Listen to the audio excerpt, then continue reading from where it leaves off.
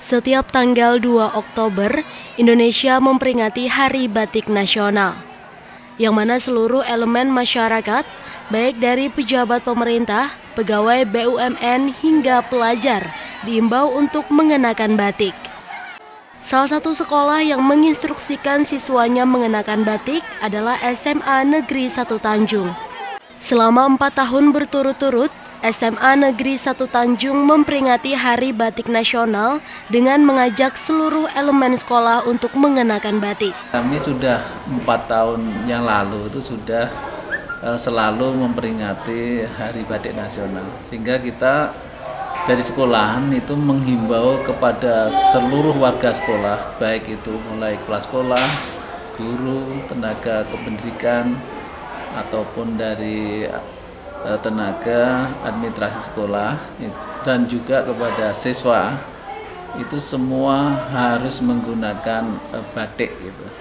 Nah batik ini kita eh, bebaskan dalam arti untuk da, batik dari daerah mana. Yang penting kita menggunakan batik memang itu dari wilayah Indonesia. Nah dari sanalah sehingga siswa diberikan apa itu ekspresi untuk mencintai uh, apa itu budaya dan itu adalah warisan luhur kita batik ini. Makanya ini juga merupakan kebanggaan kita dan kita membebaskan untuk itu. Beberapa siswa pun terlihat antusias menggunakan batik. Mereka mengaku dengan menggunakan batik dapat melestarikan kain tradisional ini di era milenial. Selain itu juga dapat kembali menumbuhkan rasa nasionalisme. Ini memperingati Hari Batik ini untuk melestarikan uh, batik ini agar tidak punah di masa era milenial ini. Jadi uh, batik ini masih banyak digunakan oleh anak-anak muda gitu, banyak yang trendy.